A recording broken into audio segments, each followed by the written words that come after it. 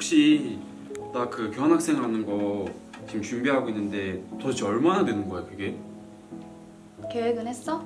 그 처음에 친구 집에서 살다가 안 되면 어차피 유럽이니까 밖에서 자도 될 것 같고 그리고 식비는 하루에 한 끼를 먹고 감자랑 물 근데 이제 여행을 좀 많이 다니려고 하거든 나는 노숙의 감자? 그게 무슨 계획이야. 너 그렇게 하는 거 아니야. 아 그래? 그러지 말고 국제교류처로 와. 내가 다 알려줄게. 어 그런가? 선배 그럼 좀 도와줘 나 이거 비용 계산하는 거 응, 그럼 거기서 봐. 알겠어 그럼 거기서 볼게 안녕하세요 안녕하세요.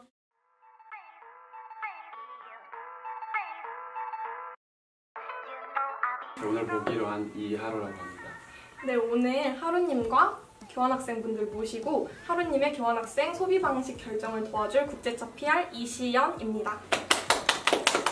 네 이게 딱 두 가지가 제가 많이 고민되고 있는 부분인데요 아, 여행에 돈을 많이 쓸까 아니면 좀 이제 먹고 사는데 얼마나 어떻게 쓸까라는 게 제일 고민되고 있는데 한 번씩 좀 자세히 내용을 부탁드릴게요 저는 우선 지난 학기에 독일로 교환학생을 다녀온 정치외교학과 이승민인데요. 이제 제가 생활을 하면서 느꼈었던 꿀팁 같은 거를 하루님한테 전달드리기 위해서 이렇게 가져와 봤어요. 어, 우선 이건 제가 한 번 독일에서 장을 봤었던 영수증인데요. 제가 이걸 왜 찍었냐면 장을 진짜 이따만큼 봤는데 먹고 싶은 걸 다 담았는데 한 15유로밖에 안 나온 거예요. 그래서 아 이거 진짜 대박이다 싶어가지고 사진을 찍어서 챙겨왔는데 이렇게 쓸 때가 있어서 흐뭇합니다. 보시면 제가 먹고 싶은 거 막 초코칩 쿠키 이런 거 천 원밖에 안 하고 이건 제가 항상 먹었던 필수품 계란 2,600원 정도 그리고 크림치즈링에 강추템 붙어 있는 건 이것도 저만의 꿀팁인데요. 이제 장을 저녁쯤에 보러 가면은 소고기, 돼지고기 이런 것도 되게 싸게 살 수 있어요. 그래서 이게 1,500원이 원 가격이고 지금은 세일이 들어가서 1,000원도 안 되게 샀었던 것 같아요. 이거 되게 오래오래 먹을 수 있으니까 타임 세일을 노려보시는 걸 추천합니다. 그리고 가지가 800원인데 진짜 제 팔뚝만 해요. 파스타 1,000원, 닭가슴살 5,000원, 그리고 식빵도 1,000원, 설탕이랑 패드도 제가 돈을 아끼기 위해서 이제 유럽 같은 경우에는 밖에서 나가는 시장 물가가 되게 비싸니까 제가 장도 직접 보고 커피까지 직접 해먹자고 해서 커피패드 20개에서 커피 20잔에 총 3,000원 정도를 소비했습니다. 파프리카도 9,200원 정도? 이렇게 해서 장보기 총 비용은 15유로니까 이때 당시에 약 2만원 정도 나왔고 이걸로 한 일주일 정도를 먹을 수 있었던 것 같아요. 그러니까 식비가 진짜 싼 거죠. 레스토랑 같은 경우에는 한 번 가면은 15,000원씩 10유로씩 이렇게 나오면 그게 싼 편이라서 두 번 외식하는 걸로 일주일을 먹고 살았습니다. 이렇게 해서 식비를 정말 많이 줄여서 제가 한 달, 4월 한 달 동안 살았던 비용을 보시면 첫 번째 주에 11만원, 그리고 제가 중간에 여행을 갔었는데 4월 동안은 스페인, 포르투갈, 오스트리아, 를 갔어요. 그래서 오스트리아 닷새 동안 40만 원, 그리고 스페인이랑 포르투갈 합쳐서 닷새 동안 약 40만 원, 그리고 그냥 지내는 비용은 약 30만 원, 나머지 식비를 합쳐서 생활비 30만 원에 여행 80만 원 정도 해서 총 110만 원을 한 달 동안 사용했습니다.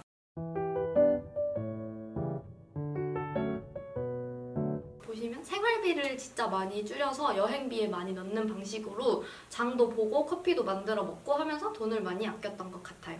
정말 알뜰하게 사신 것 같아요 자, 이렇게 프로 장보기로 승민님의 이야기를 들어봤는데요. 저희가 몇 가지 질문을 드리려고 해요.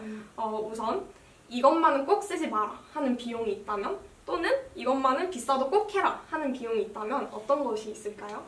꼭 쓰지 마라는 어, 아까 제가 했었던 커피 비용 같은 것도 아낄 수 있지만 이 여행 갈 때 짐 추가 차지 비용이 되게 많이 든다고 했잖아요. 그래서 갈 때 옷을 4개씩 껴입으면은 추가 차지가 덜 들거든요. 아. 양말도 두 개씩 신고 안에 스타킹도 입고 이렇게 해가지고 웬만하면 몸에 걸칠 수 있는 거 걸치면 어차피 기차 안에서 벗으면 되니까 그래서 그런 비용을 아낄 수 있고 또 쇼핑 비용이 확실히 좀 줄이면 좋지 않을까 싶은 게 가면 어차피 친구랑 같이 여행 다니고 놀잖아요. 그래서 저는 한번 바꿔 입고 오늘 너 블라우스 입어도 돼? 해가지고 바꿔 입고 그런 식으로 또 의상 비용을 줄일 수 있을 것 같아서 그런 비용은 웬만하면 쓰지 마라.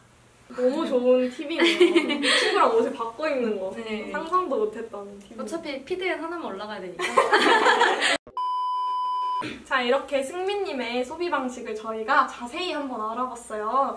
이제 다른 소비 방식도 한번 알아보러 가볼까요? 윤서님 자기소개해 주세요. 안녕하세요. 저는 2022년도 1학기에 핀란드로 교환학생 다녀온 19과학번 무용학부 김윤서입니다. 어, 저는 교환학생 하면 빠질 수 없는 게 여행이라고 생각을 하는데요. 그래서 제가 여행에서 어떻게 소비를 했는지 보여드릴게요. 좋습니다. 어, 저는 여행을 사실 엄청 많이 다녔어요. 제가 학기뿐만 아니라 끝나고도 여행을 너무 많이 다녀서 이걸 다 소개해드리면 이 영상이 끝나지 않을 것 같아서 딱 학기 중에만 다녀온 곳을 소개해드릴게요. 어, 처음은 헬싱키인데요. 저는 핀란드의 수도는 꼭 가봐야겠다고 생각해서 헬싱키를 먼저 선택을 했어요. 저는 들어가기 전에 새해는 꼭 핀란드에서 보내고 싶다라는 생각이 있어서 30일, 12월 30일 날 먼저 들어갔고 1월 1일을 헬싱키에서 보냈습니다. 그래서 이 불꽃놀이가 맞이하는 새해였어요. 매년 이렇게 하시는 전통은 네, 1월 1일만 항상 허용한다고 해가지고 사람들이 다 여기저기서 개인적으로 폭죽을 터뜨렸어요. 아, 다 개인 폭죽이에요? 네. 아, 돈이 많구나. 표현지 사람들. 헬싱키에서 거주하시진 않았던 건가요?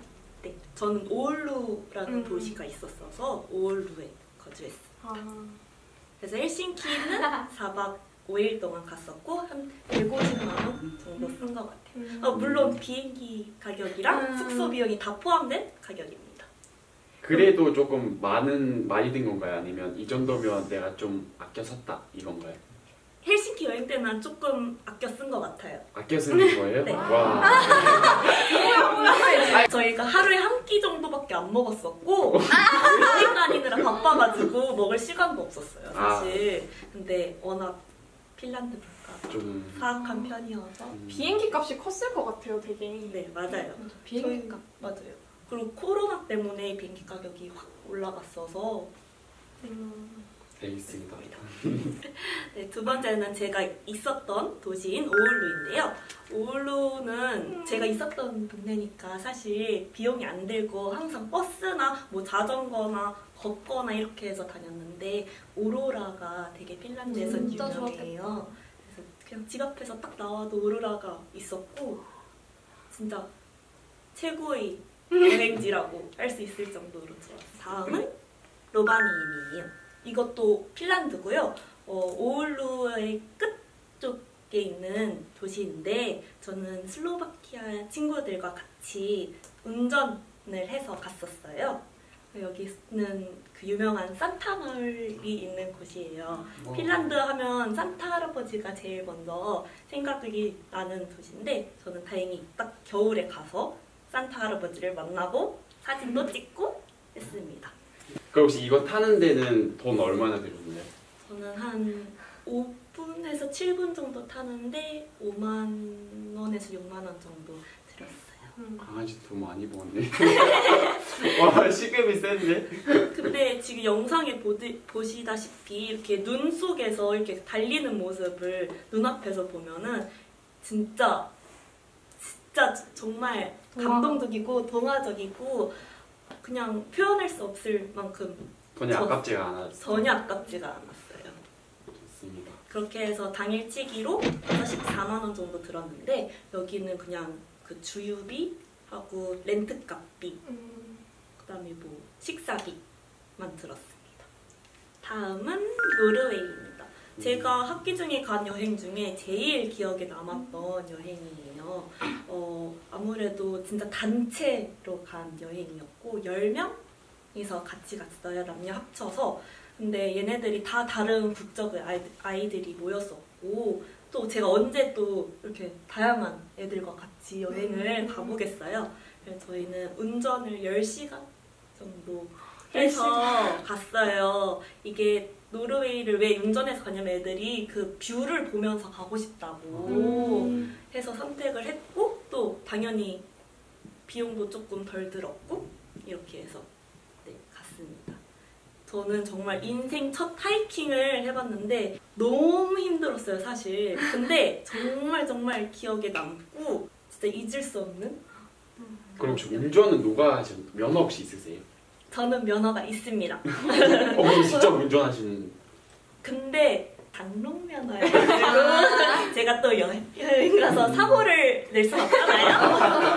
그래서 저희는 면허가 근데 유럽 친구들은 보통 다 차가 있고 다들 운전해서 다니기 때문에 음, 거의 모든 애들이 다 운전을 할 수 있었어요. 음. 그래서 친구들이 고맙게도 번갈아 가면서 운전을 해줬습니다. 음. 전총 9박 10일 가서 95만 원.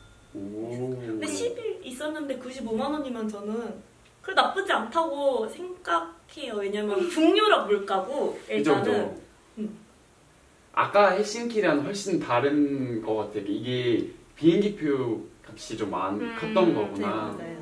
알겠습니다. 어, 더 들을수록 더 고민되는 것 같아요. 들으면 들을수록 좀 아끼면서 갈지 아니면 좀 어, 여행 갔는데 뭐 어때? 이런 느낌으로 갈지 계속 고민되네요. 네, 이렇게 윤서님의 소비 습관까지 알아봤는데요. 윤서님 그러면 혹시 비싸도 이것만 꼭 해라 하는 그런 경험이 있었나요? 저는 비싸더라도 친구들이 제안하는 여행은 꼭 같이 가라입니다. 음. 외국인 친구들이랑 언제 저희가 또 여행을 가보겠어요. 그래서 이 값진 시간을 헛되게 이렇게 보내지 말고 음. 꼭 제안을 받아들여입니다.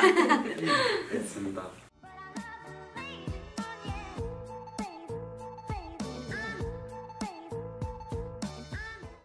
네, 알겠습니다. 저희 오늘 이렇게 두 게스트 모셔두고 소비 방식에 대해서 저희가 한번 분석을 해보고 이야기도 많이 나눠봤는데요. 오늘 와주신 승민님과 윤서님 너무 감사드리고 이렇게 좋은 정보를 주셔서 하루님의 결정에 영향이 어떻게 갈지 이제 기다려 보도록 하겠습니다.